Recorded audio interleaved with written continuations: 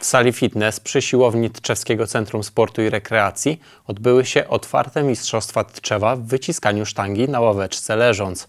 W zawodach wzięło udział ponad 30 miłośników sportów siłowych. Zawody miały na celu popularyzację wyciskania sztangi leżąc jako jednej z konkurencji trójboju siłowego. W zmaganiach uczestniczyło łącznie 31 osób. Kobiety startowały w kategorii Open, mężczyźni byli podzieleni na 7 kategorii wagowych. O klasyfikacji końcowej decydowały punkty liczone według formuły Wilksa, czyli przelicznika biorącego pod uwagę najlepszy osiągnięty wynik, także wagę ciała, ale również wiek startujących.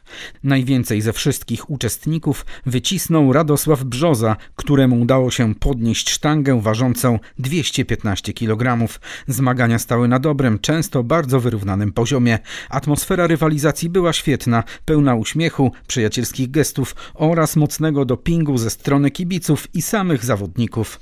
W kategorii kobiety zwyciężyła Karolina Rybczyńska. W kategoriach męskich wygrywali Ireneusz Rosak, Andrzej Kołodziejczyk, Łukasz Żulczyk, Grzegorz Strambowski, Paweł Tyborczyk, Wojciech Mejer i Adrian Trznadel w najcięższej kategorii.